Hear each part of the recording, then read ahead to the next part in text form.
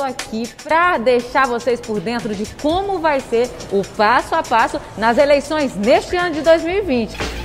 Primeiro passo: entre na sessão e fique de frente para a mesa. Segundo passo: mostre o documento oficial para o mesário. 3. Após o mesário falar o seu nome, confirme se é você.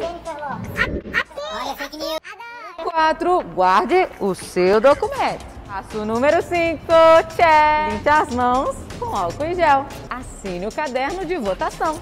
E tem o 7. Se você precisar do comprovante de votação, pede ali para o mesário. Quando a urna for liberada, dirija-se à cabine de votação. E número 9, digite os números do seu candidato. E mais uma vez, passe álcool em gel. Eleições 2020, a sua missão é votar com segurança.